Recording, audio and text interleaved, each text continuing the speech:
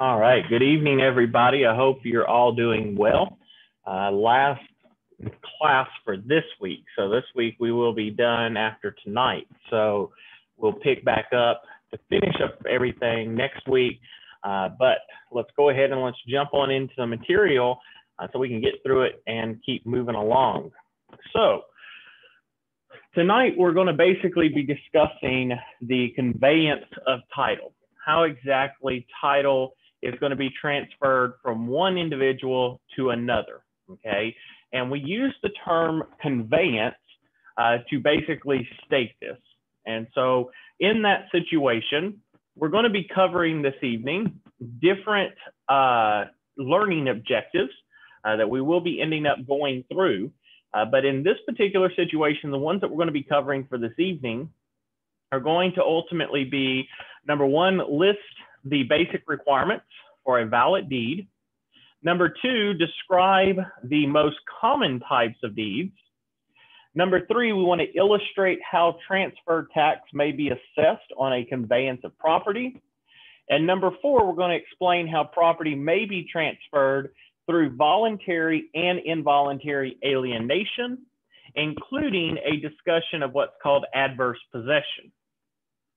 We also will explain the difference in someone dying, what's called testate, and intestate, and also the effect of potential heirs. We will further review the legal requirements for making a will. We'll identify the purpose and procedures of probate, explain the importance of recording documents in the public record, and describe what's either called constructive or actual notice. Lastly, we will distinguish between the chain of title and abstract of title. We'll review the process and purpose of a title search. We'll further discuss the way to show proof of ownership, and we'll compare what is included in the title insurance policies. So the very first thing that we're going to start off with this evening is we're going to start off with what's called the right to ownership, okay? And how we show that right to ownership. Title, like we've said before, is transferred amongst, when we're dealing with this situation, title is transferred from the aspect of an individual ends up, they own, uh, say, real estate, they get title, but they get title through a deed. Okay. So the conveyance, the actual transference that's going to occur is going to occur by a deed. All right. And if you recall the first uh, earlier section uh, from when we first had class at the very beginning, uh, we discussed title and transferring and ownership uh, and how we do this. Now, if it is real estate, we're going to transfer it by a deed. If it is going to be personal property, we transfer it by a what's called receipt okay, or a bill of sale. So in that particular situation, when we're talking about title, we're talking about the transference of ownership to another individual. And in this particular situation, the person that holds title is going to ultimately hold the ownership of that particular title or of that property. Now, like I said, we do not have an actual form that's called title. Okay, it's called a deed. So we do not actually use or have a title. We're actually given it through proof of ownership through the deed that's filed with the county. And we'll talk about that further as we're proceeding. Now, how exactly do we transfer property? How exactly do we go about transferring property to another individual? Well, in order to do that, one of the methods that is often utilized is voluntary alienation. And the word voluntary, as you can see, basically means in this particular situation is that we are offering on our own. We are offering on our own to transfer ownership to another.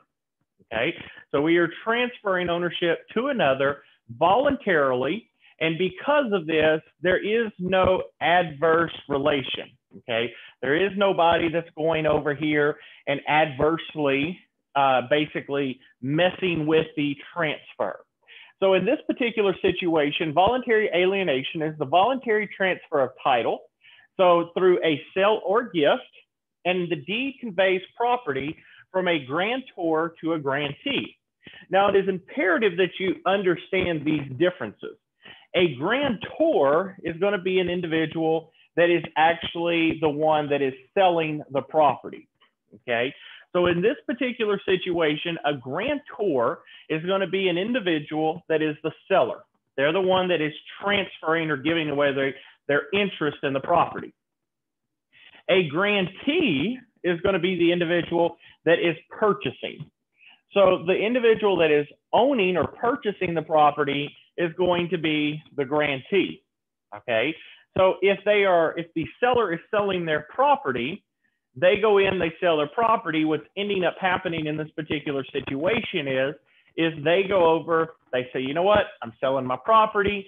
I am voluntarily putting it on the market for sale. And because I'm putting it on the market for sale, I am not being adversely taken advantage of or push to sell it. So I am basically giving my property away to the person that can end up paying the price that we agree on. Very important on that.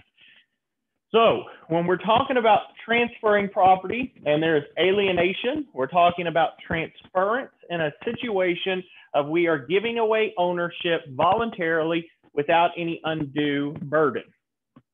Now, for you to transfer the property, to give it away to somebody, you have to, in this aspect, you have to have certain requirements of your deed. Okay. So your deed has to meet certain elements for it to be fully transferred. Okay. And to do that, the grantor, which as we have learned, the grantor is the seller. So the grantor must be the one who has legal competency to execute and sign the deed. If they are not competent, they cannot sign a deed, period. No ifs, ands, buts about it. They have to be legally competent to execute a deed. So if an individual is, say, 17, 16 years of age, they would be unable to be a grantor in an execution of a deed because of the fact is in this situation is they are a minor. And if they are a minor, what ends up happening in this particular situation is they end up, they cannot, they're unable to meet the legal competency requirement. So in that particular situation, they have to be competent and to meet that competency, they have to be of age. Now, so we see the first off is that the grantor has to have legal competency to sign or execute the deed. Now, the grantee is the one that's going to be named with reasonable certainty to be identified. So in this situation, a grantee is going to be someone with reasonable certainty they will end up being identified. Now, if we're selling our property, the grantor is most likely going to have the name of the person that's purchasing the property. That's pretty basic information, okay? So if, for example, that Keith, I know Keith and he's purchasing my property, of course I'm gonna put Keith's name because I know Keith. So in that situation, Keith's name will be put into the deed and he would end up being basically the new owner. He's a grantee. So you have to, though, have reasonable certainty. Okay, and what we're talking about in this situation is let's say, for example, that Mr. Keith has ended up, I've placed him in my uh, deed as the grantee. Uh, I execute the deed. And key thing here, if you want to put a note to the side, is deeds are never executed by the grantee. The buyer never signs the deed, period. Okay, only the seller. So if I go over here and I put down that, uh, you know, Mr. Keith, he is getting my property. He purchased my property. And since he purchased my property, what I've ended up doing is uh, Keith has gone over. He's supposed to get it. Well, after I execute it, I send it back to him. I have used reasonable certainty to identify him. But say, God forbid, Mr. Keith dies. If Mr. Keith dies before he gets the deed, we need reasonable certainty as to who is going to be the next owner, who's the next person in line. Okay. So in this particular situation, you have to make certain that we're keeping a process of identifying individuals with the best of our ability. Okay. If we're unable to meet with the best of our ability, then we're not going to be able to fully transfer the title. Okay. Now, we also have to give a statement of consideration. Now, this is that key point that is very important. And Mr. Colton, I'm glad you're here this evening because you kind of probably missed the earlier one. But I don't know if we've talked about it or not. Did we ever talk when you were in here? Did we ever talk about for love and affection? Did I ever discuss it? No. Okay. So what happens, Mr. Colton, in this situation is, and for those that have missed it, there has to be consideration for it to be a valid lease, meaning that there has to be some benefit. So if I'm ending up selling my property to you, okay, for it to be classified as a sale, I have to benefit out of something. Okay, there has to be fair exchange here. Now, if I go over and I say, let's say that you were my son, for example, and I go over in this situation and I want you to have my property. Okay. If you're my child, should you have to pay me money for my property? You shouldn't have to, right? No. So under consideration is while most of the time it's going to be cash, what happens here is you can, in some situations, put for love and affection, that's what I'm benefiting out of. You're my child. I've got to watch you grow up. I'm seeing you flourish. That is my love and affection. So I'm giving you my property. I'm selling you my property in exchange for you being my child. Do you kind of see how that works? Same thing in the situation is if you end up, say that, uh, you know, your wife ends up, you buy some property. And in this particular situation, your wife buys some property and she wants to give it to you, Colton. You don't want to have to have, you don't want to have to pay your wife for it. You want to be able to just transfer it through love and affection. Okay. So love and affection can be a method of consideration. However, Garrett, question for you. Can you end up or can earnest money ever be considered consideration? Uh, no, sir. That is correct. Earnest money can never be classified as consideration, period. Okay. So in that situation, they will ask you on the state exam, earnest money can be classified as consideration. That is false. Okay. Earnest money is to show a serious intent. That's it. All right. It's not meant to be for the consideration. All right. Now, there also has to be a granting clause within the deed. All right. So if we have who the party is and we're competent and we have money, well, we still need to have the what's called the words of conveyance so that we can convey our interest. All right. We need to be able to convey our interest. And to do that, we have to use a granting clause. We have to go in here and we have to grant our rights to another individual. So if I say to Mr. Grossman, uh, Mr. Grossman, you gave me $100,000 for my land, I am hereby granting my property or my interest, my life, my rights, my duties and interests to Mr. Grossman because of the fact is in this situation is Mr. Grossman is now going to be the one that has paid for those rights and those duties. And if you recall, Mr. Grossman, what was the very beginning of this class? What did we end up talking about earlier? Do you remember what we talked about earlier? In regards to, it's called a bundle of what? Bundle of, bundle of rights. So when I sell my property, I need to transfer that bundle of rights to who? If I'm selling it to you, who do I need to send it to?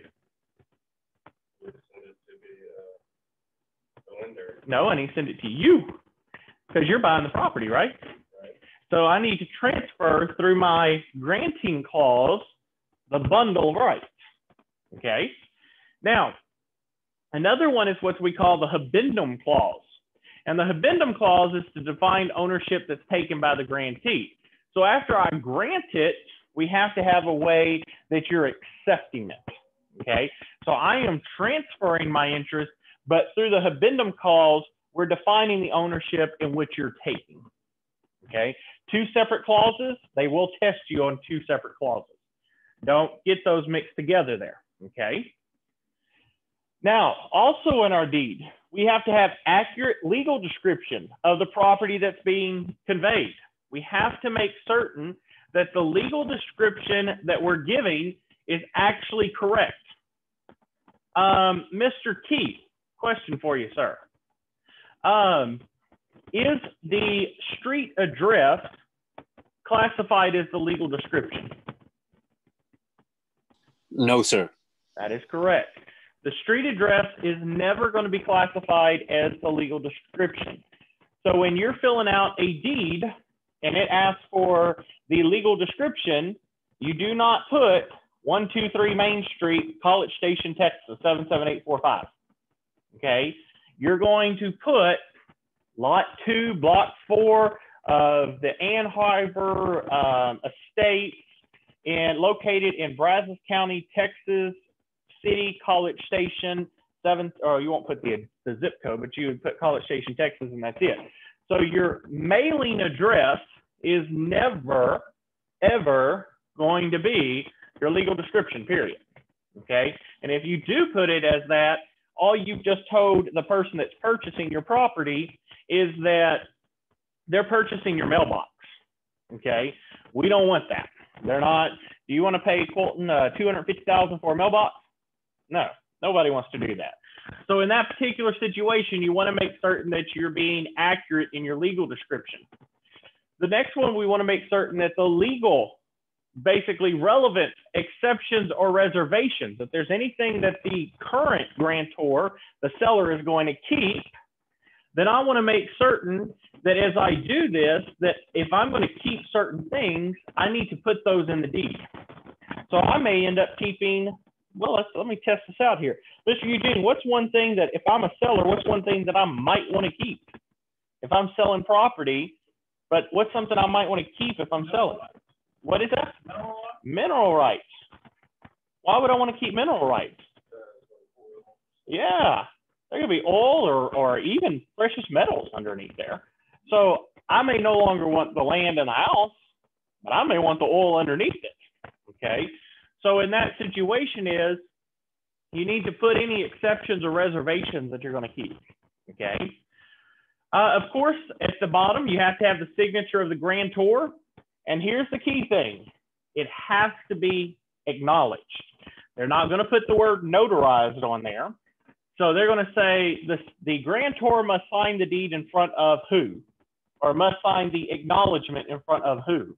And then they'll put judge, county clerk, um, notary public, real estate broker. Well, it's going to be the notary public. Okay. So in that situation, it has to be in front of, it has to be acknowledged in front of a notary. Okay. And what that acknowledgement means is we're making certain that, Colton, if you're signing over your rights, we want to make certain that you are who you are, if you see what I'm saying. And when we talked a little earlier about being competent, it's the duty of the notary to make certain that you're competent. Do you see where that comes in? So when you go in to get notarized, a notary's job is not simply to just take your driver's license and look and be like, yeah, that looks like him, sign. No, no, no. Our job is to kind of look at it and then say, do you understand what you're doing? Do you understand the process? You're giving away your property. Do you understand everything within the terms of this? And if you say yes, yes, yes, yes, yes, and we feel that you're competent, we'll notarize it. But if we kind of get a feeling that like you're drunk, you're high, or something like that, we'll refer, refuse to acknowledge your document. And I've had that happen before. When I was signing or notarizing somebody's paper, a guy came in, his eyes were bloodshot. He smelt of alcohol very strongly, and he wanted to come in and, and have me notarize his deed. And he was selling it because he said he lost the bet. Okay. Well, do you think he was in his right mind, most likely, Colton? No, not not at all. So in that situation, I had to turn him away. He wasn't happy, but I'm not notarizing something and he come to his senses tomorrow and be like, "What the heck just happened?" and then come sue me. Okay. Rather you be mad at me than come and sue me. Okay. So again, we have to acknowledge we have that duty. Now, one thing I want to end up, and y'all might want to put a note to the side here, because I used a little trick question there. I said if it says a county clerk or a notary public, truthfully in that answer, it would most likely be either the county clerk or the notary public. Okay, because oftentimes county clerks are designated as notaries. Okay, so in that situation, you have to watch your questions. The reason I bring that up is because sometimes you'll see where they talk about acknowledgement and you won't see notary public anywhere. And the only option on there will be a county clerk. And if they say that, that is most likely the best answer. So when we're talking about these things, we're talking about the county clerk, and that's going to be the person that can notarize. Now, the last and most important part, because most people stop right here at bullet number three, they forget about bullet number four here. They just think, especially when it comes to a test question, they forget that we have to what? Mr. Eugene, what's that say? That bottom, bottom bullet, please, sir. Delivery of the deed acceptance by the grantee past title. Exactly. We have to deliver that deed and we have to have acceptance by the buyer, which is the grantee, to pass the title. Just because you went, Mr. Eugene, we say that you're selling your property to Mr. Jacob, and you go over, Mr. Eugene, and you sign your deed and you filled it out, you notice Mr. Jacob has nowhere on here does he need to sign. Seller does not, or buyer does not ever sign. Mr. Jacob goes in and he, you know, he's like, okay, I'm buying your property and he gives you cash, you sign your stuff and you put it on your desk and you go off for a Christmas vacation, well, it's still not classified as a transferred deed because you've not delivered it to the person that has purchased it. Okay, extremely, extremely important in that situation. We've harped on that and harped on that and harped on that. And I do that simply because the fact is the test will catch you on these. People, you'd be surprised how many people they'll read a question and they get right here to signature and they'll say, well, I just got to sign and then it's done. They forget this last bullet right here. And when they forget that last bullet, you're pretty much up creek without a paddle. Okay.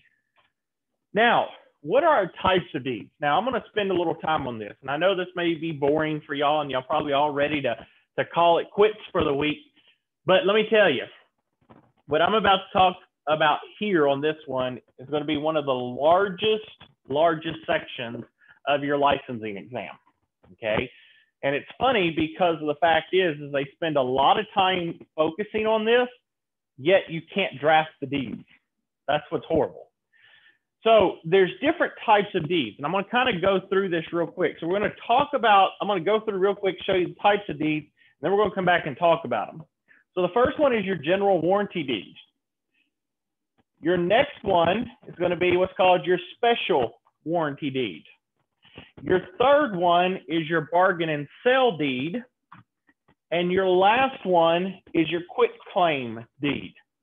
So, Mr. Eugene, how many uh, deeds are there? No, sir. Four. There's four.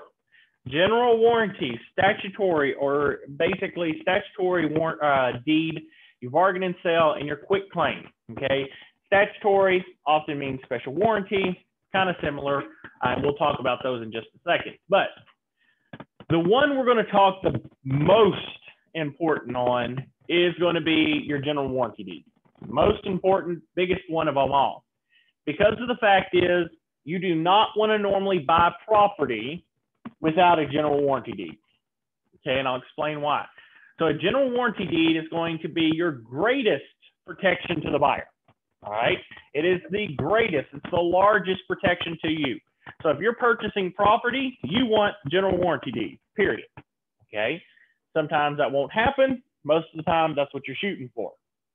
Now, you'll notice that there's different covenants that are within the general warranty deed.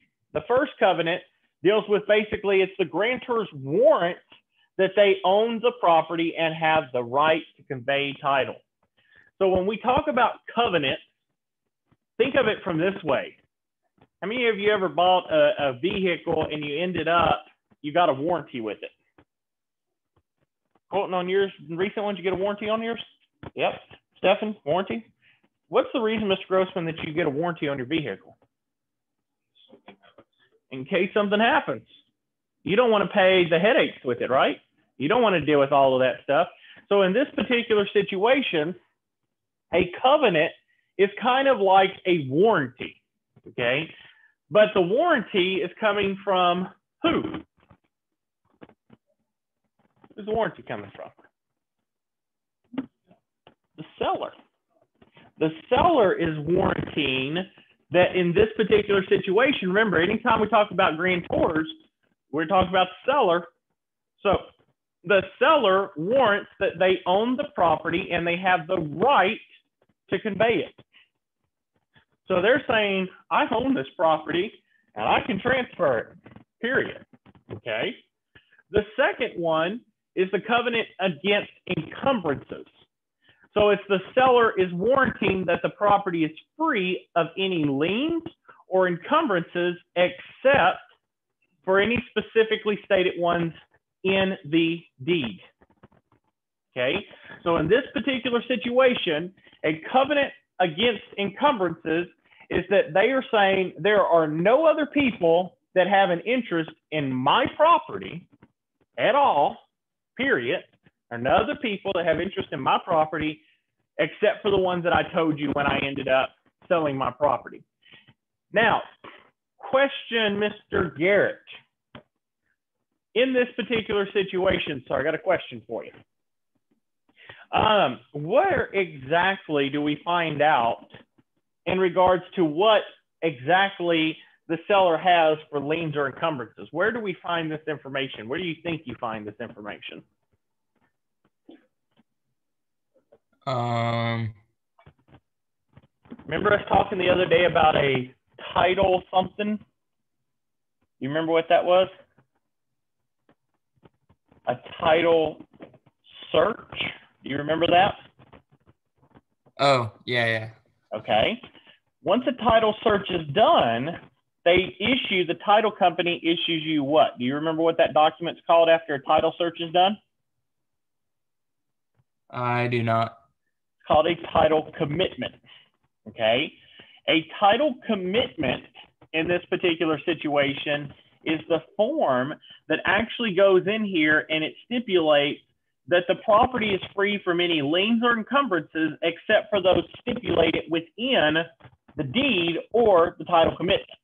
Okay, so the title commitment in this particular situation, it basically breaks down the ownership okay? And who has what? So if I wanted to, say for example, uh, Mr. Eugene, I could go down to Brazos County. I could go into the county clerk's office or the deed records office. I can walk in there and I can start doing some searches. I can look at who'd you buy the property from, if they have it recorded, how much mortgage, who your lien holder is. I can also end up finding in some situations I can find out if you have any other liens that are filed, maybe a mechanic lien. Maybe you had a, a pool put in your backyard and you never paid Mr. Colton for the pool he put in. Okay. I can find out all of this stuff by just going through the deed records. I can look through title. I can go through it and see. It's called my chain of title. What ends up happening in this situation is that we go through and we're checking to make certain that there is no liens or encumbrances other than what Mr. Nobles has told us. Now, if we find something in here, and y'all will deal with this in real life, so I'm gonna this kind of hopefully will wake you up for a minute. I'm gonna give you a, a real life example. Okay, so there will be times that you'll go in, client finds a property, and either or if you're the seller or the buyer, it doesn't matter. But either or, you find a property, client is in love. Okay. Uh, Mr. Grossman, he uh, comes to Mr. Eugene, says, "Let me sell your property." Mr. Eugene says, "Wonderful." Say, "Yeah, I'm, I'm, I'll let you sell my property." Mr. Grossman is stoked. He got his first listing. He says, "I'm so glad." Mr. Grossman goes puts it on the MLS. He asked Mr. Eugene, is there any debts or anything? No, no, I don't have any debts. Everything's old and clear. Mr. Uh, Mr. Jacob comes in and he puts an offer in on the property. And after he puts an offer in, he gets a couple of days later from title that your ownership, Mr. Grossman, of your client, his interest in the property is he actually has four different liens that are on the property from different people. So now, guess what happens? The property is now not free and clear to transfer, meaning that transfer cannot occur. So what happens is, Mr. Grossman, because they're not going to email Mr. Eugene, they're going to send it to you. Okay? Unless, and there's a stipulation to that, and we'll talk about that. But what will happen is they email it to you, Mr. Grossman. You got to go talk to Mr. Eugene and say, Mr. Eugene, uh, title just did a search and you owe four different liens. You owe four different debts. What are you talking about here? Okay.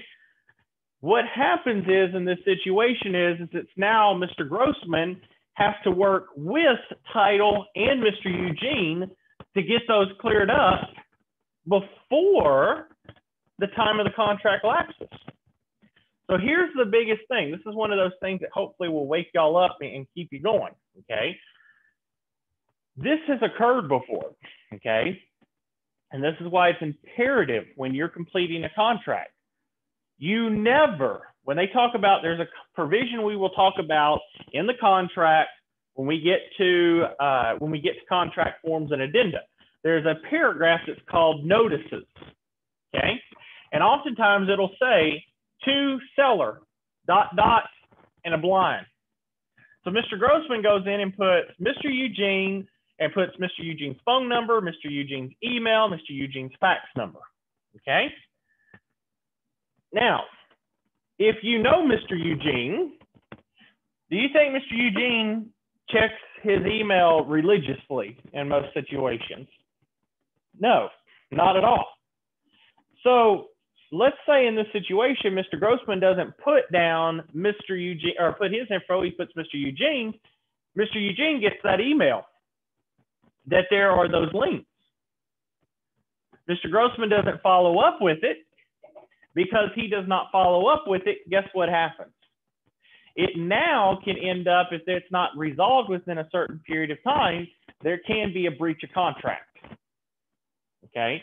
So when we're dealing with these different situations, we have to make certain, we have to make certain, the biggest and most important part that we have to be cl uh, clear on is this, is it is our duties when you're representing a client, it is our duty to make certain that guess what, that Mr. Eugene is not the one that's responsible. Too many realtors, too many realtors simply put their client's information in the notices their clients get the information, never give it to their agent. The agent never knows about anything. And sure enough, guess what happens? There is a breach of contract or somebody bags out because the agent knows nothing. When a realtor is hired, when an agent is hired, your information needs to be put in the notices. Your information needs to be there. And it is your duty to make certain that everything that comes through, you read it and then you send it to your client. That is one of the biggest kickbacks that I see a lot of times in this situation is real estate agents do not do their job. They don't fulfill their duty. Okay. It is your job to make certain any and all documents come to you. Now, the next one is what we call the covenant of quiet enjoyment. Now, the grantor, which is a seller, is going to guarantee that the grantee, the buyer's title, will be good against any third parties who might bring court actions to establish superior title to the property. This is a big one, very, very big, because you don't see this one covered in any other deeds, period. Okay. The first one we talked about, the grantor is warranting that I have the right to sell this property. The second one is that the seller is warranting that the property is free from any liens or encumbrances. This last one is the biggest and most important one. It's saying that afterwards, if, for example, Mr. Eugene, you sell your property to Mr. Jacob, and Mr. Jacob goes and he gets ready to move in, And Mr. Garrett comes over and sues Mr. Jacob and tells Mr. Jacob, wait a minute, that's my property. That's half my property. It is Mr. Eugene's requirement that he will help make Mr. Jacob whole because he's standing up against any third parties that think that they have ownership superior to the deed that was transferred. So when you sell a general warranty deed, you are saying that if anybody else comes into this whole situation, that you as the seller are guaranteeing that guess what? I am the one that actually in this situation was the honest and truthful seller, and therefore I am going to protect you, Mr. Jacob, if Mr. Garrett comes in and says it's mine. Okay. This is a huge, huge covenant. Very big. Because what happens is, and where that comes into play is in this situation, when you're in a very rural country town, you may end up having somebody that a mom or a dad passes away. So you're in a very rural area. There's a, a dad, let's say, that's still alive. The mom's already passed away, but that couple had, you know, 15 kids. And the dad passes away. There's 15 children. Two of the children go and try to sell the property to another person. That person purchases it. Well, here's the problem. If the property was distributed to be basically equally split among those 15 kids, the ones that got the ownership only got two fifteenths of the total. So if there's somebody that comes back in, they could bring a court action to reverse everything because those people did not have interest, that you left out the people that did have the interest. Okay. So in that particular situation, we have to make certain that we keep people alert in regards to these different situations so that they understand that it is their duty, it is their responsibility to make certain that everybody has an interest. And I can tell you, I've dealt with those before. They are a nightmare. I think my largest one I've dealt with was there was 29 children and grandchildren. And we had to hunt down 29 children and grandchildren. It was not fun. Okay. Took us over two years to get that thing transferred. So you have to be very careful in that situation. Further, there is what's called a covenant of further assurance. Okay, this is your next warranty. It's where the seller is promising to obtain and deliver any instrument needed to make title good. So if there is something that needs to be taken or needs to be dealt with, say for example that Mr. Grossman is selling his property and we end up finding out that when he ends up purchasing his property, Mr. Keith, you're going over buying his property here. Uh, we find out, I'm your agent, that, uh, oh goodness, Mr. Grossman has a, uh, a, a shed that's on the property line. Mr. Grossman has a shed on a property line. And Mr. Grossman has to end up, in order for it to be cleared, we have to have a certification document from the city in order to make it clear that they won't destroy that shed because of the fact is it's on the property line. Okay. So in that situation is it would be Mr. Grossman's duty, not Mr. Keith's duty, but Mr. Grossman's duty to obtain and deliver that instrument to the grantee so that the grantee does not end up being harmed. It's their duty. There's also what's called the covenant of warranty forever. This is where we have the grantor, which is the seller, promises to compensate the grantee for the loss sustained if the title fails at any time in the future. So in that situation, say Mr. Darren here, he lives in, we'll say Huntsville, Texas, and he ends up, he is one of 20 kids, okay? And one of his brothers sells off the property that was his mom's. Well, Mr. Darren goes over in this particular situation and he basically fights to get his ownership back. and he's able to revert it back to them. Well, the seller, whoever was the seller, one of his brothers that sold it, has to end up, if they used a general warranty deed, they would sustain or have to pay for the sustained loss that the buyer purchased because of the fact is, is that there is the coverage of warranty for forever.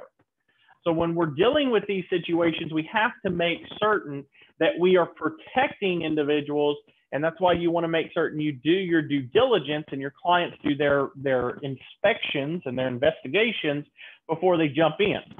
Whenever I hear of an estate sale, that is a property being sold by an estate, I know I'm going to be dealing with at least six months worth of headache. Okay, period.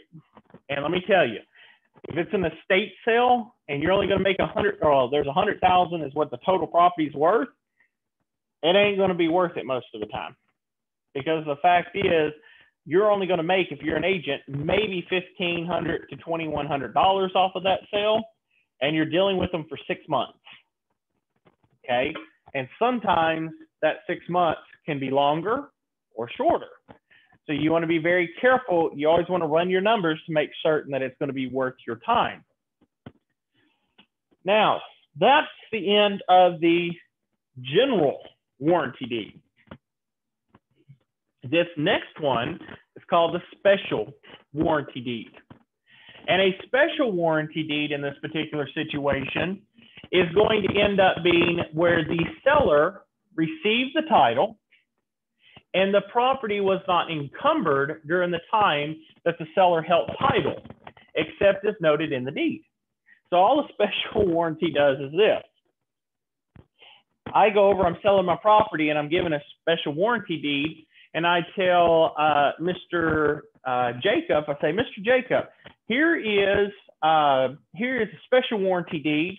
What I'm doing, sir, is I am giving you, I had, I had title, I had an interest in it, but I'm not claiming for basically anything prior to my ownership. I'm saying from the point that I bought it to now, I'm not I've not encumbered it during my time that I've held title. I'm just transferring my interest in only my only little five years I owned it. I, I can swear to those five years that I, that's all I did. Okay, I just did my little my little deal and and that's it. Okay. Well, the thing about that is is that's wonderful, but where are the warranties? Okay, this is what I call buying it as is, basically. Okay, you're taking the person's word, and in that particular situation, is they're saying that I ended up, I'm putting it out here. Okay, uh, but you're technically, I'm, I've only know what I've done during my time. I don't know what happened previously. I just know for what I did in my time. So the property was not encumbered during the time that the grantor was held, except for what I stated within my deed. Okay, so in that particular situation, the special warranty deed is an opportunity for individuals to go over here and they transfer ownership without having to make any warranties previously. Now, if you're a seller, this is what you want. I only want to say from my time I had it, we're good. I don't want to worry about what happened before. I just want my time. Okay. But from a buyer, it's kind of like you going down and getting that vehicle, Mr. Grossman. You went down and bought your vehicle. And as you go down there and you get your vehicle, the, the dealer says, Well, Mr. Grossman, we bought this as an auction. So, and we've only had it for two days. But in those two days, we took care of it. But that's it. We don't know what the previous owner, Mr. Garrett, did to it. And he had it for four years. But for the two days we had it, Mr. Grossman, your it was taken care of. Okay. In that situation is from a buyer standpoint, not what I want to hear. Not what I want to hear. Okay. So that's you're going to be your special warranty deed. The next one is what we call the bargain and sell deed. Okay. And the bargain and sell deed. So if you see in here, if you're getting seeing a pattern, what's happening is this. The very first one in the situation is the, the general warranty deed. We just said had the what? The highest protection, right? Had the most protection. The special warranty, does it have even higher protection? No, what's happening? What are we seeing? It's going backwards. It's going down. So our most strongest position of protection is the general warranty deed. The special warranty deed is going to have a lower standard. So, Mr. Eugene, I want to ask you then, what is the bargain and sale? That's got to be the second highest, right? It's going even lower. Okay. So, a bargain and sale deed is that it contains no expressed warranties against encumbrances. And it implies, not expressly, it implies that the, the seller holds title and possession to the property. But we're not 100% certain on that. So a bargain and sale is basically we, we think, we think this person has ownership. Think, okay? But, all right, we think they have ownership and we think they hold title and possession to the property, but we're not making any express warranties. We're not going over warranting anything. All right, we're not warranting anything. We are simply just going in and guesstimating. Now, what happens in this situation, a bargain and sale, sometimes is utilized in what's called a tax sale or a sheriff sale. And it's where the sheriff ends up in this particular situation. They're selling the property and they're selling the property in this situation because a person did not end up paying their taxes, did not pay whatever. So the sheriff is saying, we think that we have a pretty strong guess that Mr. Eugene owned this property because he was paying taxes on it, but we're not going to make any encumbrances or warranties because we're the sheriff's office and we're selling it. We're just doing it because the law requires us to do it. So you're accepting the property as is. Okay. Now here's the best part about this one is Mr. Eugene, if the sheriff sells his property when they're not supposed to share the property, they're not supposed to sell it, okay, then Mr. Eugene could come back and sue and end up possibly getting back his property. Okay, so there is that opportunity or that potential that Mr. Eugene could try to come back and redeem it if it's wrongfully terminated. And I've had that happen before. I have had it where an individual ended up in the situation, they've gone in and they ended up, the individual has gone over, okay, and they have turned around and they ended up in this particular situation. Uh, they sold it at a tax sale. The uh, sheriff wrote over the deed, transferred the deed, and because of a technicality, everything had to be reverted, and the owner got back all of their interest. Okay, so when you're dealing with these, you have multiple different bargain and sales. You have different types of requirements when it comes to these different ownerships. Now, how many of y'all recall this one? This one up here at the top, Mr. Eugene, do you remember that one? Quit claim. Remember we talked about that? Mr. Wyatt was here.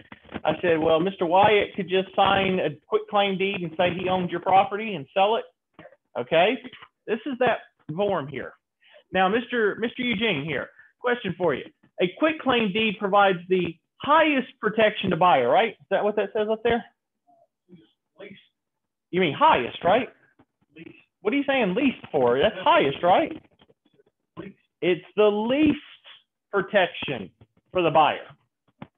So in this situation, you do not, in any shape or form, if you're a buyer, you want a quit claim deed? It's basically, to be real honest with you, a piece of paper with your signature on it probably has more weight than a quit claim deed. Okay. A quit claim deed, like it says, is the least protection to a buyer. It offers no express or implied covenants or warranties, and it's used primarily simply to convey less than fee simple or to cure a title defect. So let's play out that situation we just talked about. Mr. Eugene has gone over here in this particular situation. He sells his property to Mr. Jacob, and Mr. Eugene's gone over. He sold his property to Mr. Jacob. But here's the thing that nobody knew. when Mr. Eugene sold his property, he was married, but he never disclosed that he was married to Miss Linda. And Mr. Eugene sold the property to, to Mr. Jacob, but only Mr. Eugene's signature was on it, not Miss Linda's. And Miss Linda had a 50% interest in the property because we're in a community property state. So Miss Linda comes and finds out that Mr. Eugene went and sold their property. So she comes in and she hires Mr. Garrett to sue. And Miss Linda wins her case and she's entitled to 50% of the assets, the proceeds from the sale, because it was her interest. Okay, she owned half the property. So in that situation, Mr. Eugene has to pay Miss Linda 50%. But here's the thing. Do you think, Miss Linda, that Mr. Jacob wants to have to go and give you the property back and then rebuy it all over again? No, Mr. Jacob wants to do what? He just wants to be done with it. He just wants to wipe his hand and keep his property. He don't want to deal with y'all. That's y'all's personal problem, not his. Okay. So Mr. Jacob, he wants to be left alone. So the easiest and most simplest way for the whole thing to be resolved is Mr. Jacob would have you complete a quick claim deed. And what you've just done is, remember, like we talked the other day, it's any interest that I have in the property will convey. So since the sale's already done, we don't need to redo it. We just need you to transfer or cure a title defect where you can just transfer your interest over to Mr. Jacob and Mr. Jacob can be done with this whole thing. Okay. So we're not going to issue a full general warranty deed. We may just use a quick claim deed. Okay. Now, those are your four types of title or deed, I mean. Those are the four different methods. Now, understand when we're talking about these situations, the four different methods here ultimately ends up, I want to make certain that everybody's good here, our most highest, and I'm going to question real quick, Mr. Garrett real quick, our most highest type of deed is what? What's our most highest type of deed, Mr. Garrett? Uh, do you mean like the one with most Most protection? protection. Uh, I'm trying to think of what the name was, but it was the first one that you said. The general the most- warranty deed. Yeah. The general warranty is the most strongest. Mr. Keith, which is the least protection for the buyer?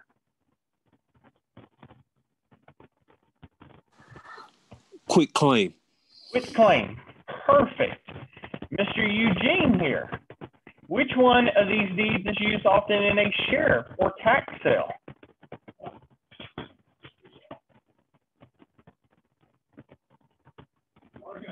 A bargain and sell deed, okay?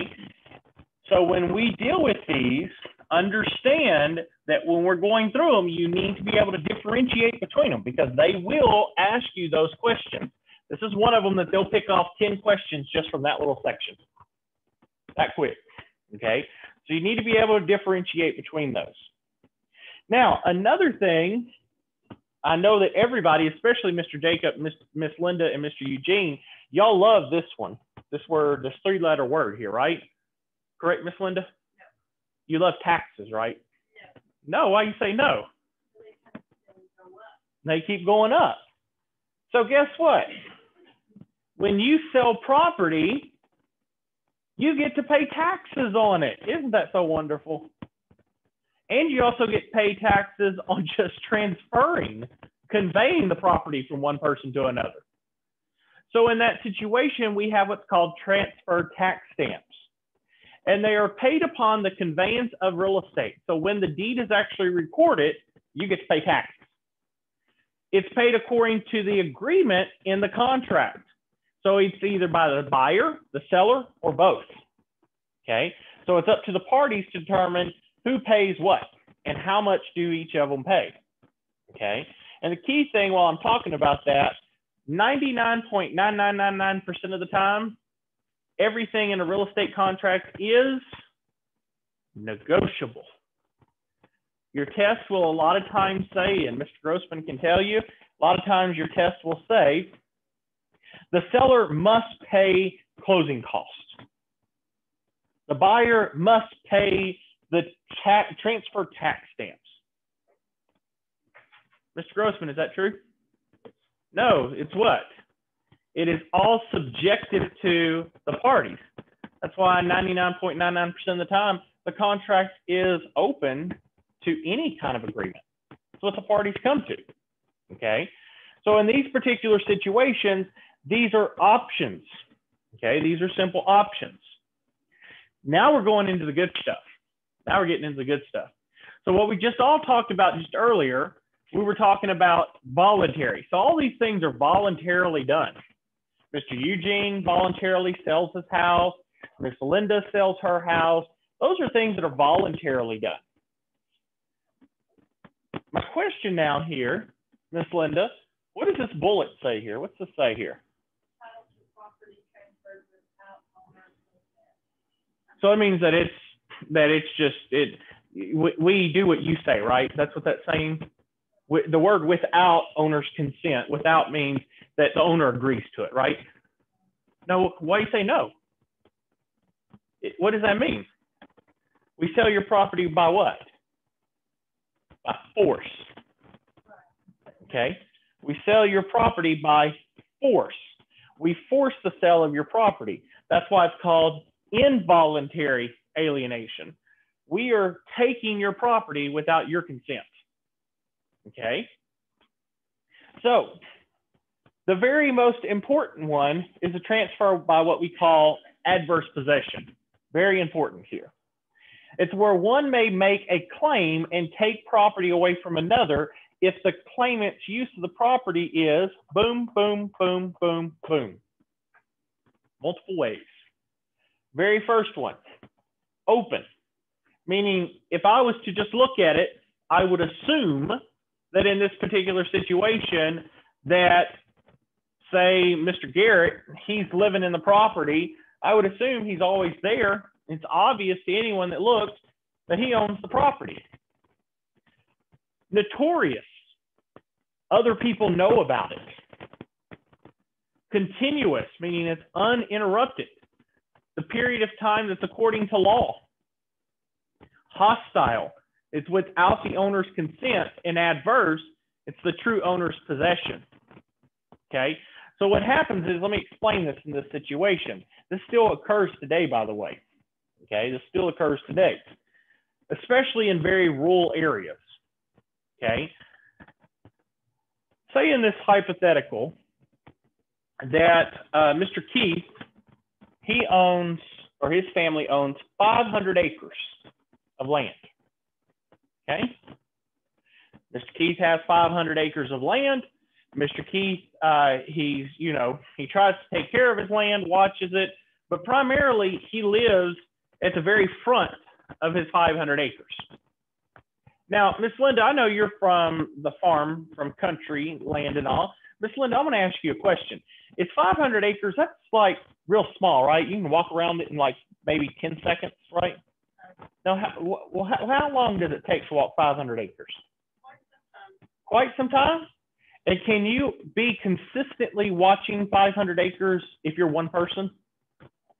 No, it's very difficult, isn't it? It's very hard. There are people that own thousands of acres. Okay. So Mr. Keith, he's an older gentleman and he ends up he primarily just lives at the front of his property and he just he just stays there. He just mows around in his, you know, he has about a half an acre he takes care of and mows and all. The rest of it's just wooded. And he'll randomly from time to time walk around the property. Okay. Well, Mr. Keith, guess what? There's this guy named Mr. Eugene. And he ended up bought, bought some land behind you and Mr. Eugene has gone over here and his property butts up against yours. And Mr. Eugene is like, man, I really just need like an extra 10 acres and that would really make my property look good. And there's no fence or anything here. So I'm just going to go ahead and just fence 10 acres of Mr. Keith with my 10 acres and I'll have 20 acres. It'll just look good. And he's at the very back part of Mr. Keith 500 acres. So Mr. Eugene goes over and it's open because the fact is any person that's driving down can see that Mr. Eugene has done what? He's put a fence up. It's notorious because Mr. Eugene tells everybody around that, well, yeah, he's got 500 acres. He don't need all that acreage. I'm, I'll take 10 acres of it. I'm going to maintain it anyway. It makes it look better. So other people know it's notorious. And it's uninterrupted because Mr. Eugene's at the very back of his 500 acres, and Mr. Keith has never ended up went back there. He actually has to go past two rivers to get to that 500 acres. So what ends up happening is it's continuous, not uninterrupted. It's hostile because the true owner never gave consent to give that 10 acres to Mr. Eugene. And it's adverse because the true owner's possession is being taken away. So what happens is, is Mr. Eugene fences it, he maintains it, he even pays, the key thing in Texas is he pays the taxes for that 10 acres. And he does it for 10 years. After 10 years, guess what ends up happening?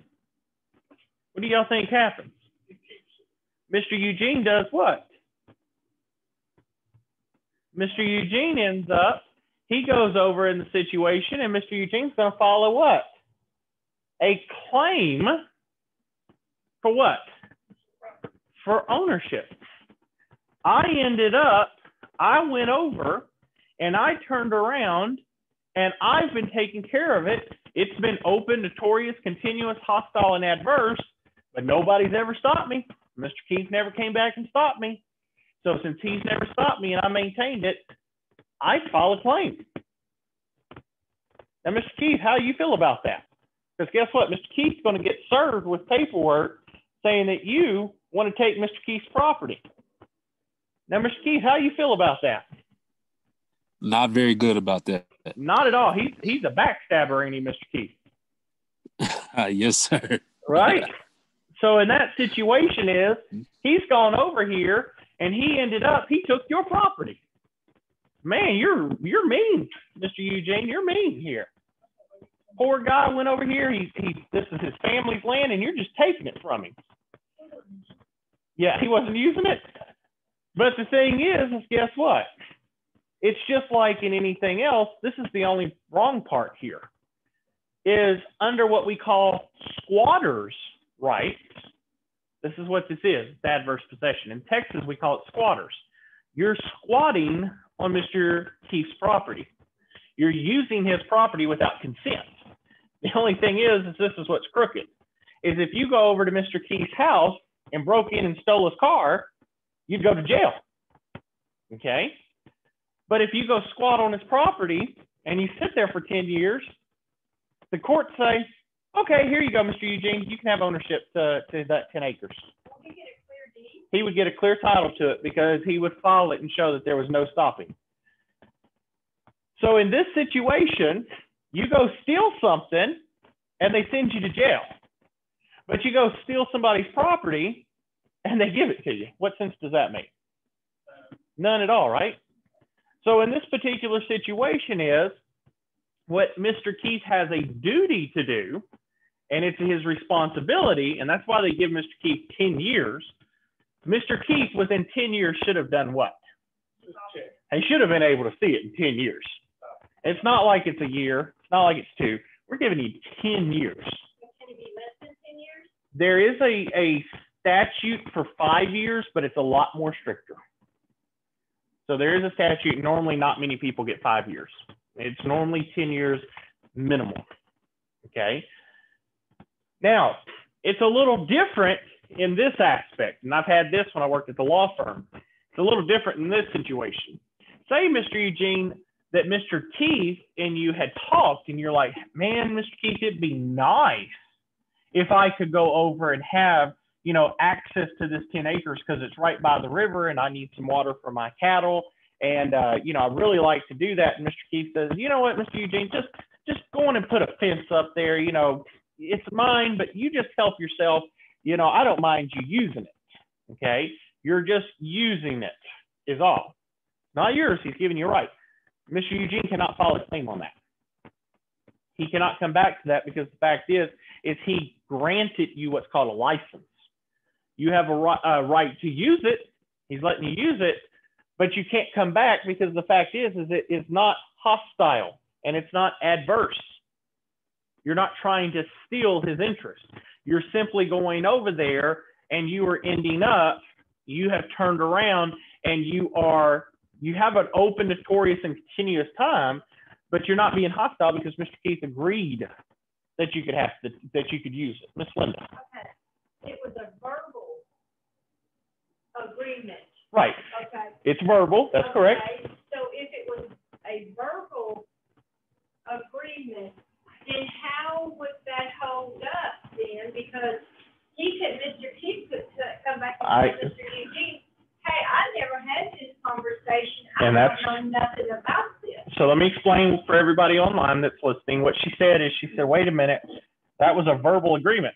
Mr. Keith verbally said that Mr. Eugene could access the property and all. That is true. But here's the thing, is if Mr. Eugene goes over and files and says it was an adverse hostile deal, it's on Mr. Keith to prove that there's a verbal agreement. That's why we always tell people when you do stuff like that, you always want to get it in what? In writing. If Mr. Keith failed to get in writing, that's not Mr. Eugene's problem. That's Mr. Keith's problem. But all you have to do in that situation is this. Is Mr. Keith just has to get people around that he said he's told people, because I mean, you think about it. Common sense. If you tell Mr. Eugene he could use the property, Mr. Eugene's going to tell other people around town, oh, Mr. Keith was real nice. He let me use the property. I fenced it off, blah, blah, blah, blah, blah. All Mr. Keith has to do is go round up those people that Mr. Eugene said that, and that's all you have to do to establish because they're not selling the property, so the statute of frauds don't apply. He's just using the property. Does that make sense? Okay. Statute of frauds only applies when there is a sale of real estate. Now, if Mr. Eugene was leasing the property, a ground lease, then it needs to be in writing if it's more than one year. Okay, make sense? All right. By the way, uh, Mr. Eugene, Mr. Keith says you owe him $100 million. He's waiting on the check. So, oh, check's in the mail. Sounds, sounds familiar. so, but no, in this situation, another one is another way that we end up doing it. So the first one was adverse. So we're we're adversely taking another person's. In this method, we're transferring title by will. Okay. And so it cannot be superseded when we're dealing with, if, if you notice here real quick, I'm to go back just so you can see the difference here. If you look up here at the top, this is the only adverse possession that's done by squatting. Now, there are other methods we'll talk about, and one of them is taxes. You fail to pay your taxes, what happens? We talked about this already. They sell at a tax sale. You fail to pay your mortgage, they sell it. Those are classified as involuntary alienation. We're just tonight, we're just talking about the adverse possession of somebody just coming on and taking your stuff. Okay, so know the difference. They're still adverse, but they're not going into detail because we talked about that already. But you need to be aware of them. Now, conveyance of a descendant's property. Now, when an individual dies, we end up, we can transfer title by will. Now, Miss Linda, real quick, what is a will? A will is your estate that you leave behind. That's the estate, but what's a will? The estate you leave behind is your estate. What's a will? Who you want it to go to. It's the document that says this is where it's distributing your assets. It is the document that says this is where I want my assets to go to. This is who I want them to go to. The will states where things are supposed to go to. Now, it cannot supersede the state laws of what's called dower and curtesy. Okay? Dower and curtesy is basically husband and wife. The husband has interest in the wife's property, and the wife has interest in the husband's property, period. Okay? Now, one of the key thing in this situation is if you live in a state where, for example, that when a husband dies, his property automatically goes to the wife, he cannot end up creating a will that's going to supersede that, period. And vice versa for the wife. Okay. But in a community property state here in Texas, Mr. Eugene owns 50% of the estate and Miss Linda owns 50% of their estate, husband and wife. Okay.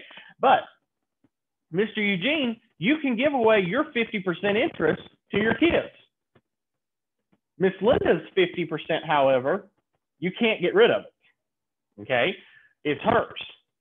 So in that situation, when you pass away, you can grant your 50% interest to your children. But Miss Linda, her 50% is still her interest. You can't get rid of her interest just because of that situation. You have to, in these situations, you got to be able to differentiate between the two. That makes sense. So you can only get rid of your portion and nobody else's. Okay.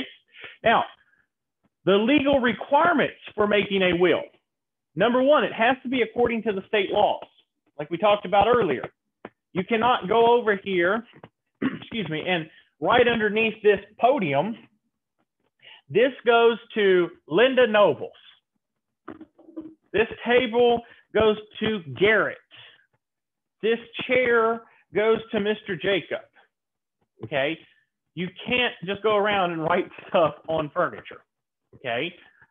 You have to end up, they have to follow the laws of the state. There has to be a will that states that it is your last will and testament and you are of conscious and competent mind. Okay. You have to be competent. Then you can disperse it. So, Mr. Eugene, if you wanted to give these items that I just talked about to those individuals, you can do it, but you need to put it in a will. You don't just go around your house and willy nilly writing stuff. Okay. You don't do that. You have to end up, you have to follow the laws of the land.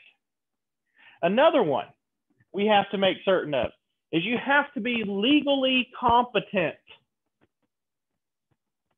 Mr. Eugene, if you're 16 years of age, can you make a will? Is it legally?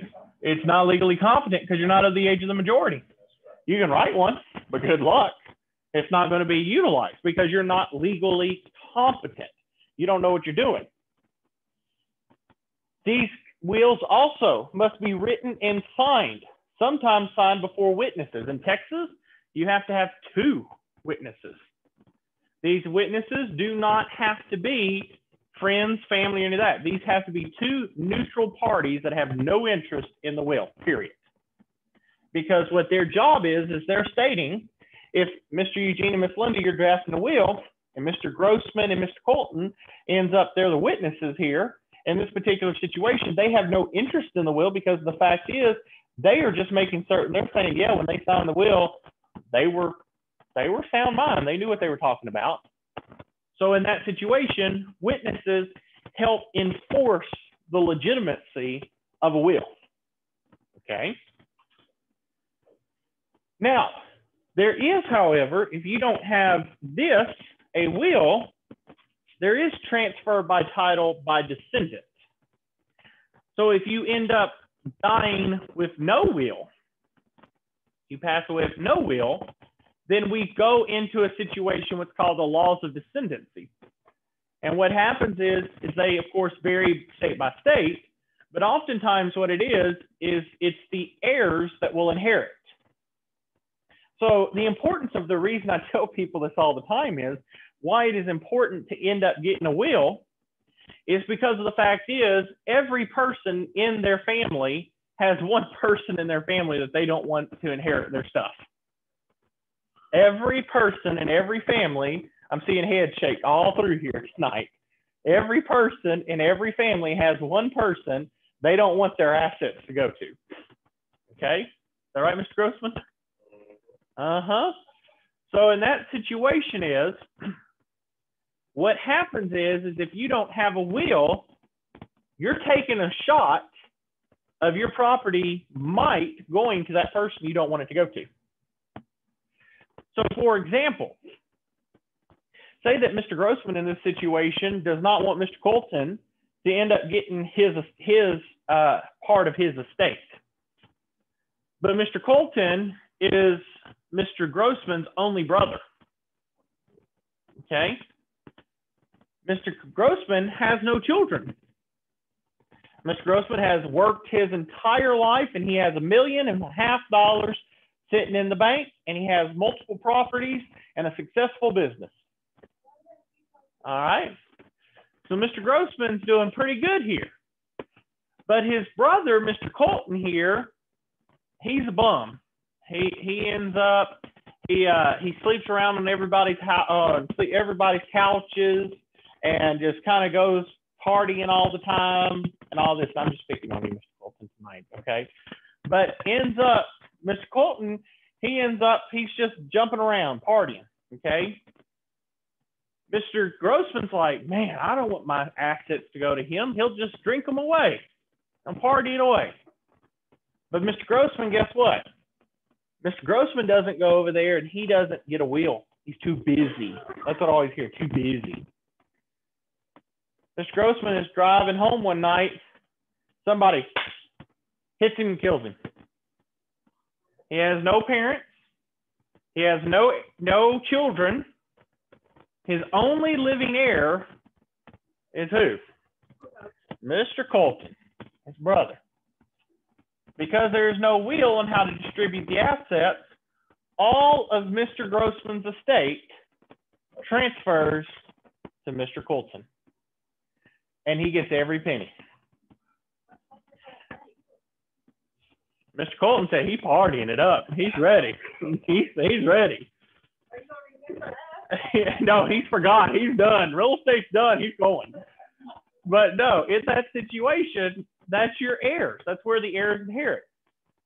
Of course, that's a, a crazy hypothetical, but I use that simply because the fact is, is guys and gals, it happens. It happens more than what you know. Your will, no matter who it is, Colton may end up, you may have in, inherited all that cash. You're now the only living relative of your parents, okay? So your brother died, you're the only one. But you may hate your aunt, okay? And you only have one aunt. Well, guess what? He would want to immediately get a will to give it to whoever you want because otherwise, if something happens to you, what happens now? That's going to go to that crazy aunt you didn't like, okay? So it comes into that situation of you want to have a will to end up protecting yourself so that you don't lose your assets when we come down to it. It's very important in that situation. Now, how do we transfer? How do we go in here and, and move things around? How do we transfer stuff? Well, once an individual dies, let's continue playing out that hypothetical with Mr. Grossman dies in an accident. Now, once Mr. Grossman dies, Mr. Colton, real quick question. Do you automatically, the minute he dies, get all of his stuff that very second? No. It takes time, right? It's got to go through probate. Okay. So, a probate, the very first thing that they have to do is they got to see when a person dies, we got to see did Mr. Grossman have a deed, I mean, a will, or did he not? That's the first question a probate court asks. If he did not have a will, then, so let, let me put it this way. If you want to take notes, here we go. If he had a will, he died what's called testate. So if he dies with a will, he died testate. If Mr. Grossman died without a will, he died intestate. Okay. So if he dies with a will, he died testate, and the, the court will end up proving up or confirming the validity of that will determining the precise assets of the deceased person, and identify to where those need to be basically passed along to. So if you have a will, you die testate, you're going to follow that process right there. Okay. If you died intestate, Mr. Grossman didn't have a will, he dies intestate, then the court does not have a will. So the court is going to have to end up bringing in what's called an administrator. And an administrator is going to be somebody that the court brings in, could randomly be Mr. Eugene here. You don't even know who he is. Court comes in, says, Well, Mr. Eugene, another guy just died. once you go find out who his heirs are, call, around and I'll see what you find out. You go find out that Colton is his only brother. There's no other family. So you would report back to the judge, and the judge would say, "Well, Mr. Eugene, what did you find out?" Well, Mr. Colton is the the rightful heir to the property, and he's the only living heir. And I would say, Mr. Colton, are you related to Mr. Grossman? Yes, I was. Are you his only brother? Yes, I was. All right. Well, then we're proving up that you are his only heir. So in this situation, Mr. Eugene, I want you to go identify any of his assets, Mr. Grossman's assets, report back to me how much assets there are, what all he had, and then I want you to turn around and we're going to go through here and we're going to we're going to transfer it to Mr. Colton. Okay. And so that's where they go through. They, so they still do two and three. You just don't have a will in an intestate. Okay. In a will, this is something you might want to write down because they'll test you on this.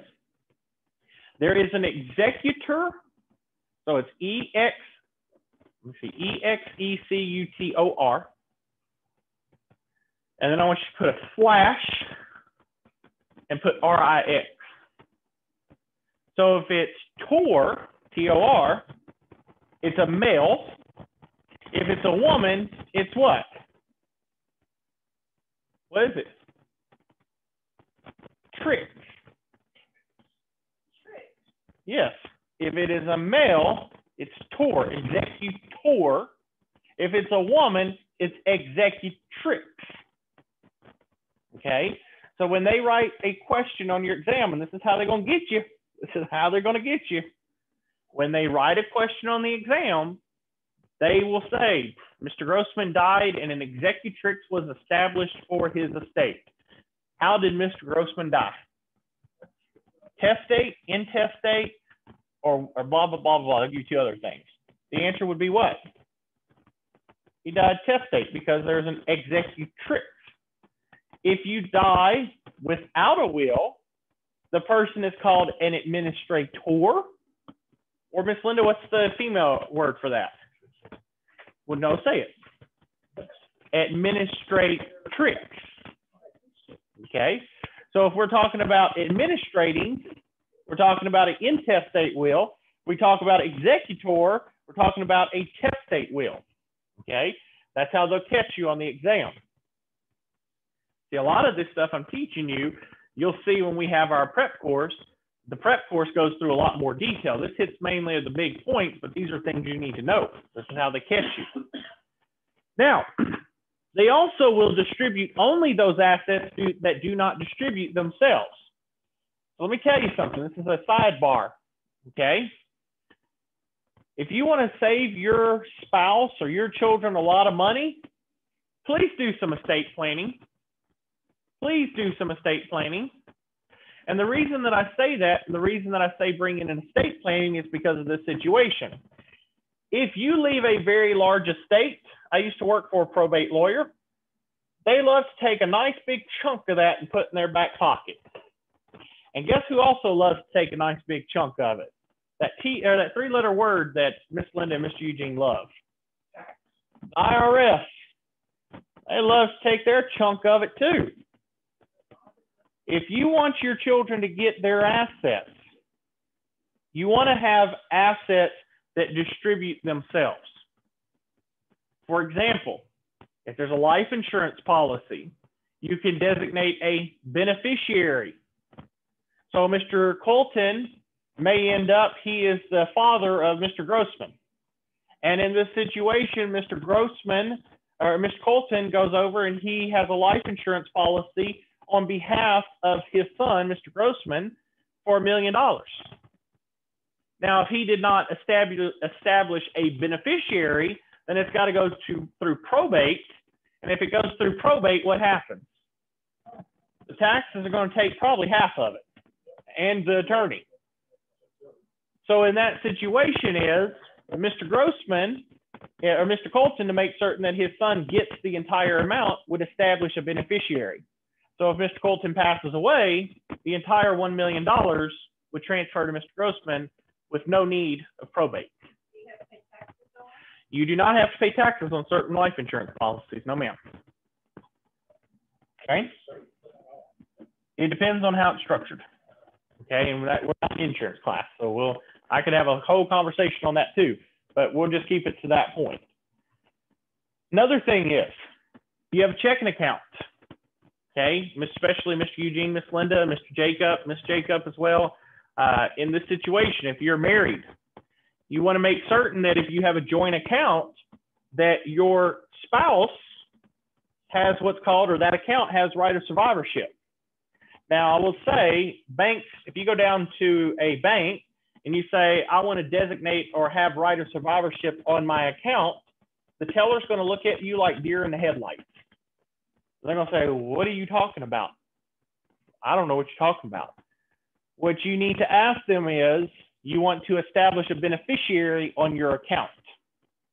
And you want to create it where when you end up, if something were to happen to you, you don't want your funds in that account frozen. So what happens, and a lot of people don't do this, is they end up, they have a joint account, but what they don't understand is with a joint account is if you end up, one of the parties dies, the account freezes until it's released by probate, unless there has a beneficiary or a, a right of survivorship included on that account. So what will happen, and I've had clients have gone through that. Husband or wife passes away. They have all their life savings is in their checking account, and they can't access it to hire an attorney because the spouse has passed. The bank has put a hold on it. And what y'all don't know is, is banks actually have a division within them, especially large banks, have a division that they check the obituaries every single day. So they go through the obituaries page, and if they see a spouse dead, they freeze that account. And they will not release any funds in that account.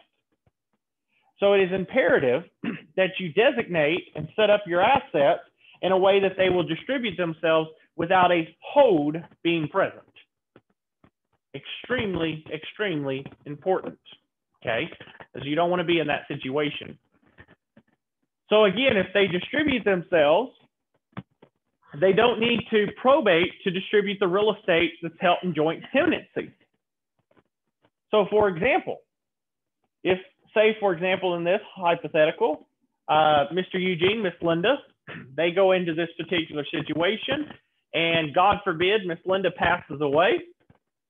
What happens is, is because it's community property, it's held in joint tenancy, Mr. Eugene does not have to go to court to get Miss Linda's 50%. Because the fact is, what did we just talk about?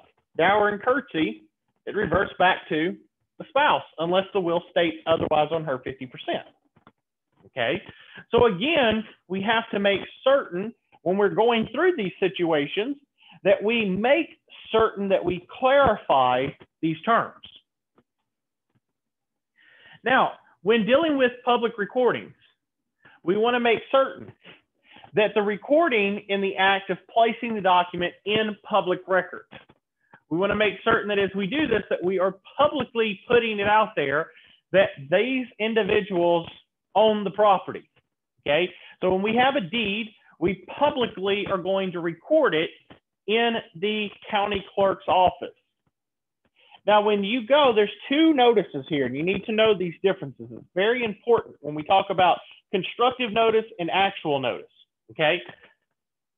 Constructive notice is kind of like this. My sister is a teacher. Okay. So a constructive notice in this situation could be this. How many of you, probably Colton, you might have had this happen when you were in school. How many of you had teachers that had like a little pin up board and they would sometimes pin up important things on the board, like assignments or stuff? And they put it up there and they tell you, important information's up here you you need to look at this. You should check this every day. Okay, so a pinup board is considered constructive notice. You state it in this particular situation. The same as uh, my my sister, she ended up. She was the one that was your teacher, Colton, for example, and she puts a, a pinup board here and she says, whenever there's important information on her first day of class, she walks in. Any import, important information relating to how we run or anything in my class, I'm going to put it right here on this board. Okay. I'm not going to text you. I'm not going to call you. I'm not going to email you. I'm going to put it right here on this board. Okay? It's your duty as students to come check this. That's our first thing. So when she ends up, there are grades. She grades everybody's quizzes, her the test. She puts your student number and she puts your grades. She just pins them up, all the grades, and she goes sits back down. Okay. Now, if you want to know your grade, how do you find out, Colton, your grade? What do you have to do? That's right. You actually have to come into that room, go look at it to find out your grade. That's called constructive notice. Okay. What do you think actual notice is, Colton? There you go. Actual notice is where my sister comes over, you took her test, and she goes over and she says, Okay, Mr. Colton, you made an A on the test. Congratulations. That's actual notice. So constructive notice is the legal presumption that information may be obtained about a parcel of real estate by an individual through due diligence. They're doing their own searches. Okay. So you coming and looking, that's your due diligence. While actual notice is the information about a parcel of real estate is available and someone has been given the information and actually knows it. Those are your differences. So let me put this in real estate terms.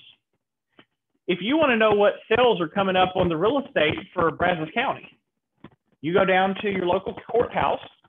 And when you go into a courthouse, they have a pin-up board, a big old pin-up board, and they pin up sales that are coming up, tax sales or whatever. Everyone in the county can go to the courthouse and look at that pin-up board. Everyone's welcome to do that. But do you think the county is going to come out to say 600,000 people and send all of y'all an email about a tax sale? No, it costs a lot of money to do that, right? Think about every tax sale we had to mail out that stuff. That costs a lot of money. So constructive notice is it's your duty to go find it. We don't come to you, you come to us. So I tell you in real estate, when you're in school, when you're in class, the professor, I give you stuff. I give it to you. I'm sharing my information with you. You become a real estate agent, Mr. Grossman, you become a real estate agent. Does that continue? Does the once you get your license, does clients just, oh my God, I need to line up to you, Mr. Grossman, so you can help me buy a house? No. You have to do what, Mr. Grossman? You got to go out there and find them, right? You got to go out there and do the work. Okay. So when we're dealing with this, that's your difference between your constructive and your actual. Now, I'm not going to even talk about this top one. We beat that to death yesterday, didn't we? We beat that to death. I'm not even going to spend any moments on that. but I am going to spend a few minutes on number two. Because the fact is, not all liens are actually going to be recorded. Not all debts are actually recorded. Miss Linda went over to, say, Mr. Garrett's house, and she did some interior decorating to get it ready for sale. And Miss Linda spent, and I found out this amount, by the way, yesterday in a meeting. Interior decorators start off minimum with a $5,000 retainer. $5,000 retainer. Okay? So Miss Linda goes in, she does her initial staging and her concepts and does all her stuff. But it's all said and done, Mr. Garrett, she's charged you $10,000. $10,000 for Mr. Garrett for interior decorating. Mr. Garrett goes over. He don't pay you, Miss Linda. He don't pay you. Mr. Garrett, he's a cheapskate. He says, huh, he don't like your work. He said you did horrible, right, Mr. Garrett? Mr. Garrett said you did horrible. So go over here in this situation. He said, I ain't paying for it. Well, Miss Linda goes over, and Mr. Uh, Miss Linda goes over, and she ends up she puts mechanic lien against him and wins. She gets ten thousand dollar loan or uh, judgment against it. But Miss Linda does not record the document. She doesn't record it. Miss Linda, are you obligated to record your lien on Mr. Garrett's property? No, you're not. You're not obligated to even your mortgage company isn't obligated to record their documents. It's optional. They do it because they want to be, as we said earlier, priority, but ultimately it's not required. That's why, as we were talking earlier about warranties and protections, imagine in this situation if Mr. Garrett sells that property off to Mr. Grossman. Mr. Grossman gets the property, and sure freaking enough, after he gets the property, guess what Miss Linda does? She files it against that property. Now, Mr. Grossman, if you only ended up getting a bargain and sale deed, who gets to pay that debt? You do. He gets the debt, and Miss Linda ends up gets to take it. Miss Garrett gets to walk away scotch free. So the problem here in this situation is that's why title searches are not perfect. They can only find debts that they know about that's recorded. If they're not recorded, it doesn't mean that they don't exist. Okay. Now, another one is what we call the chain of title. And this is what the search, the title search is for. The chain of title is going to be a record in regards to the property's ownership. How many of you ever know what a linked chain is? What does that look like, Mr. Colton? What's a linked chain look like? Uh-huh. What do they look like?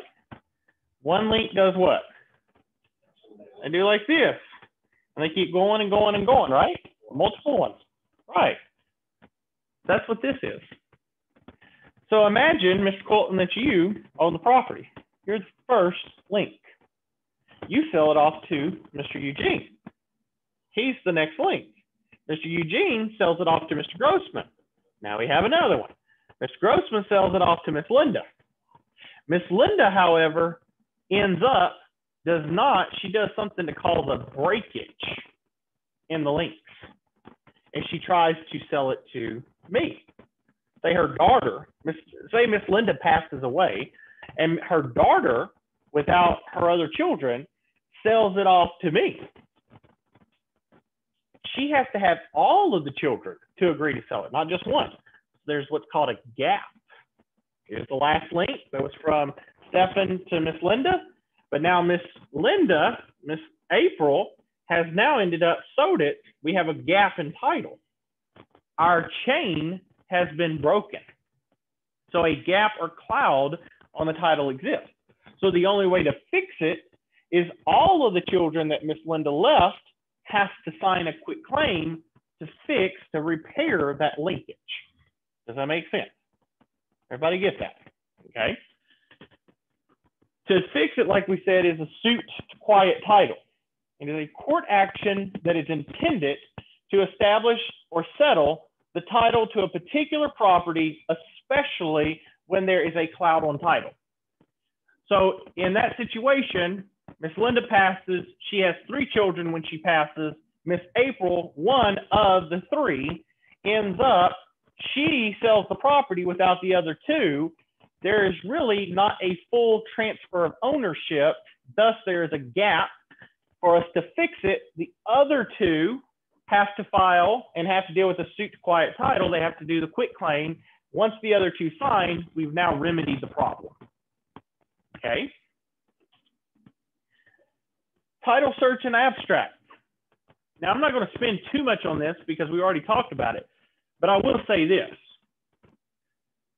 If you're going to be a real estate agent, you want to be trained in this. I'm going to tell you how many times that I've ended up where myself, I've looked at property and wanted to buy it. If you want a title search or an abstract done, it can cost a few thousand bucks. But if you want to end up learning how to do title searches and abstracting, it can cost a few hundred bucks. And once you get the skill down, you don't need anything else. I actually teach the classes on title search and abstract. I teach for my students, my people at a discount. For other people that are not with me, I charge them a, a normal rate. But title search and abstract, the title search is where they examine all the public records to determine any defects that exist on the chain of title. They look for those gaps.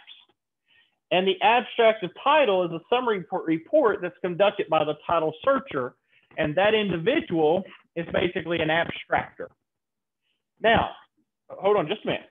Now, in this situation here, okay, if you're doing title searches for another person, you have to be licensed.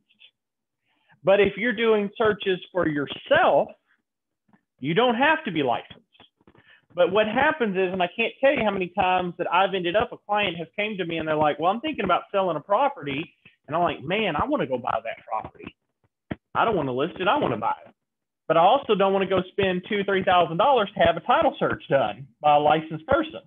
I want to go do my own searches. Thankfully, I know how to do it. But a, a lot of realtors don't know how to do a title search. Okay. So it's imperative that you know these skills because it makes you marketable for yourself so that you can go do a, a title search and know that, okay, if I buy this property, there's nothing that's going to come back and haunt me. Miss Linda, you had a question. You do a title search, do you just do it instead of, Texas? or You only do- do it throughout the United States? You only, if you're doing a title search, it's only, remember, like we talked before, all deed records are filed where? Where the county where the property is located. So you only do your title search in that county, nowhere else, just in that county. Now, again, coming back to this, like I want to add to it, sidebar for a minute. Mr. Eugene, he goes through the class with me. I teach him how to do it and all this stuff. And Mr. Eugene goes out and he does a title search and he's like, all right, this looks perfect. It's all good and clear. And he buys property. Two, three months later, he gets hit with a mechanics lien. He comes in, wait, wait a minute, Mr. Eu- or Justin, you, you went over and you told me, blah, blah, blah, blah. And I'm going to say, was it recorded or unrecorded? Well, it was unrecorded. Well, it doesn't matter if you ended up, if you would have hired somebody or you did it yourself, you still would have been in the same boat because it wasn't recorded. So sometimes you have to take a risk. You got to take a gamble. Okay. Marketable title. When dealing with marketable title, the seller is required to deliver the buyer to the buyer at closing. It has to be a full title that's marketable. To be marketable, and you've got to know these three things. Extremely important. To be marketable, a title must disclose no serious defects and not depend on doubtful questions of law or fact to prove its valid. Number one. Number two, not expose the buyer to the hazard of litigation or threaten to quiet enjoyment of the property. Number three, convince a reasonable, well-informed, and prudent buyer acting on business principles and with knowledge of the facts of the and their legal significance that the purchaser could sell or mortgage the property at a later time. These are your three elements for a marketable title. And you have to have them and you have to know them. Further, the title that is not marketable can still be transferred, but it may be limited or restricted. Okay, so the buyer cannot be forced to accept this type. This is that type of situation often referred to as a salvage title on a car. You can end up buying a salvage car, but you're probably not going to get insurance on it, and you're probably not going to be able to get some other stuff. So a marketable title that is unmarketable can still be sold. It's just going to be limited and possibly restricted. However, there can be opportunities that might cure the defects. Now, we talked about this plenty today, especially at the very beginning. We talked about it a couple of other classes. To show proof of ownership, the proof of ownership may be established by a certificate of title, but it will not reveal, what did we say here? Unrecorded liens or rights of parties in possession. For example, if Mr. Eugene is selling his property to Mr. Jacob, and Mr. Eugene is leasing the property, if I do a title search, am I going to find that lease? No, I'm not. So I'm not going to know who has rights to the possession of that property unless Mr. Eugene discloses them to me. So it is imperative in this particular situation that Mr. Eugene ends up, he's disclosing and being honest. Now I'm going to test you, Miss Linda, real quick. Proof of ownership. Is there a document in real estate that is called certificate of title?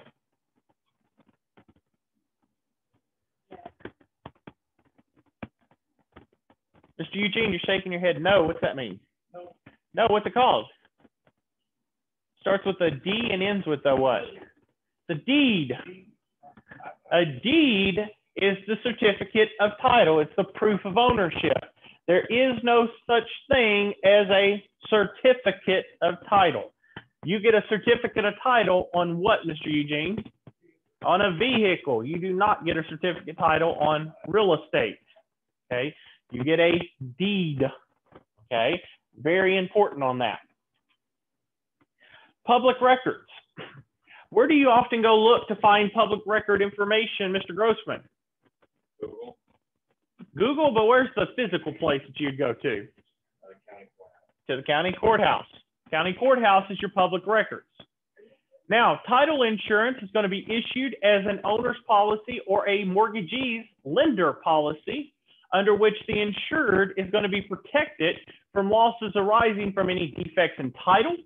It also insures against hidden defects and identifies any exclusions that include readily apparent title defects and zoning and others that could possibly be present.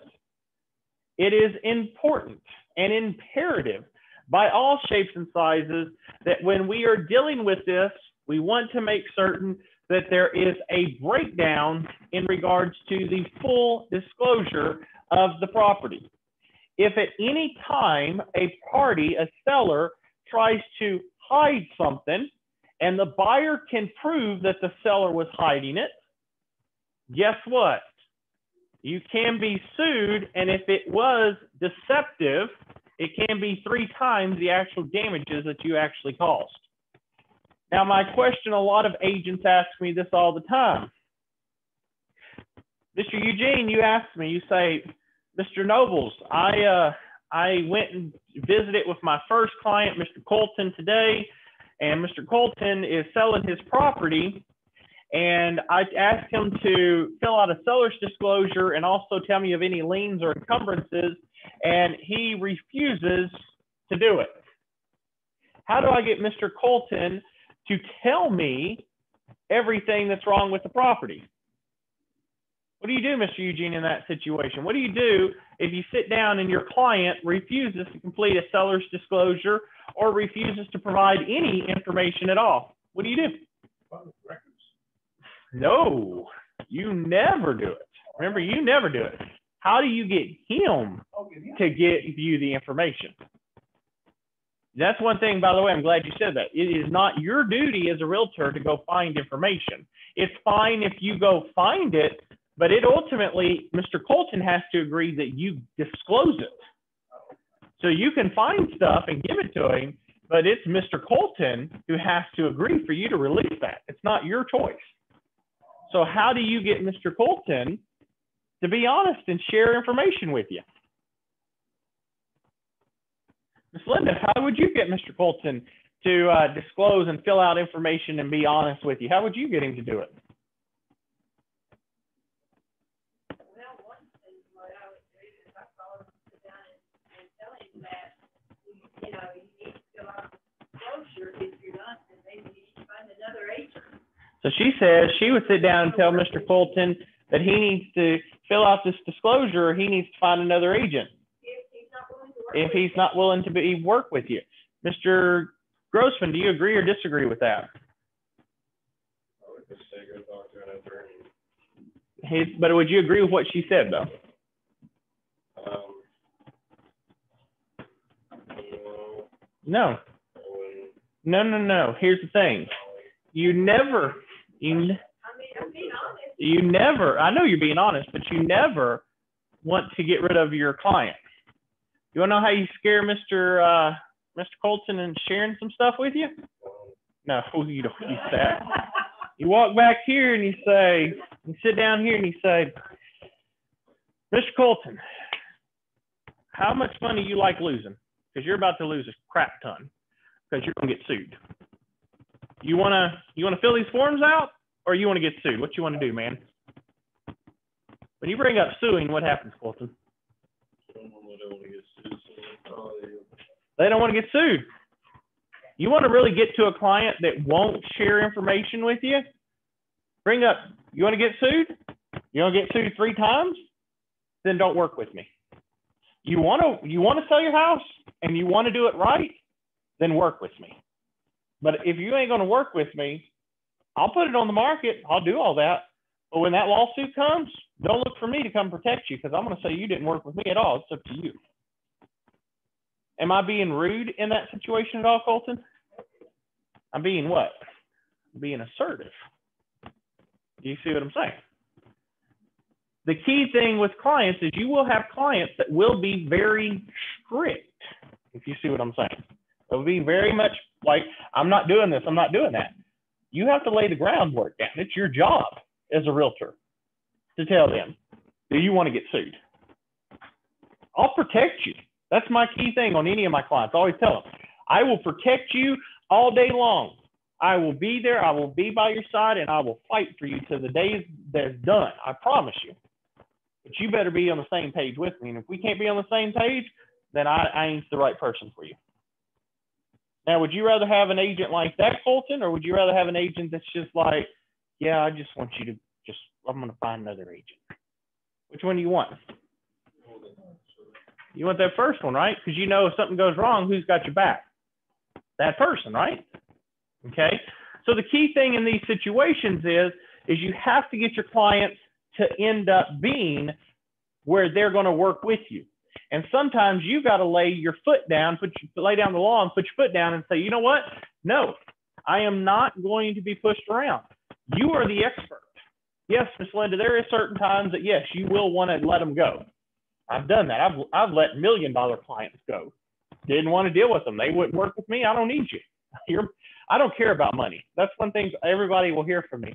I don't care about money. I'll make more money. Money's not a problem. I would rather not make that sale and not have to deal with a year's worth of headaches and do multiple other small transactions than deal with one person that's going to be a hell client that's going to last me for an entire 12 months when I can go do something else and it not be as bad. Well, I feel like if they're not gonna work for me at the very beginning, then, and you try and try and try and try, If you're consistently trying, yes, Miss Linda, if you're consistently trying and, and you were trying with Mr. Colton and you keep trying and trying and trying and Mr. Colton won't work with you, then yes, you need to let him go. But you also need to have that, what I call a come to Jesus talk with him before you let him go. And what's a come to Jesus talk, Mr. Eugene? What's a come to Jesus talk? Some people may not know what that is. You know what that is? What what do a lot of people when they end up when they want you to come to come to Jesus, they come in and they use a lot of pressure on you, don't they? Scare you out, scare you to to what? Uh huh. The same concept is you have to walk in and you got to say, "Hey, Mr. Eugene, you're not working with me, okay? I'm here to end up. I'm I'm your partner in this. Now, do you want me to work with you or do you want me to work against you? Because if you want me to work against you, then I might as well just walk out of here and be done. But if you want me to end up continuing to do what I do, then you got to, yes, you got to work with me. I had a client today. I'll give you a quick example. I had a client today. Mr. Grossman knows. He's already like, I know exactly who it is. I had a client today. Ended up, kept blowing up my phone, blowing up my phone, blowing up my phone, blowing up my phone finally I just got on the phone and I was like, do you want me to sell your house or not? And this individual was like, what do you mean? I said, do you want me to sell your house or not? Well, yeah, I want you to sell my house. Then stop calling me. Stop calling me. I, yes, yes. I have enough going on that I am making magic work. I tell people this all the time. I can move mountains. I have made things happen that people thought could never happen. But what ends up happening is, is when I keep getting phone calls and a client wants consistently wants to ask you every little thing about what's going on, there's a reason they hired you. There's a reason people hire you. So you deal with the little small things so they don't have to stress over it. When a client is consistently calling you, can you think straight, Colton? No, you can't. If your phone's ringing every five, ten minutes, you can't think strategically of how you're going to do it. I work best when I'm left alone and I'm drawing out maps and thinking different things and all of this and running numbers and thinking about how I can set this up so that it's going to work perfectly and work strategically to our advantage. I don't need somebody micromanaging me. I can make things happen where it's a win-win for everybody. You just got to trust me. And I do that sometimes. I tell my clients, you hired me to sell your house. Let me do what I do. But I also have to look out for the benefits of everybody else involved. I cannot be one sided. I have to work for everybody. Of course, I'm going to look out for your interest in most. You're my client, but I have to look out from many different angles. Sometimes you have to have those discussions. It's your job. Okay. Your job is to look out for your client at the best ability, but also using common sense. So again, those are some of the things that we end up that we deal with as real estate agents. Okay. Now, the thing is that's going to cover the end of this lecture for tonight. Okay. Uh, so tonight, our lecture is now officially over on that part.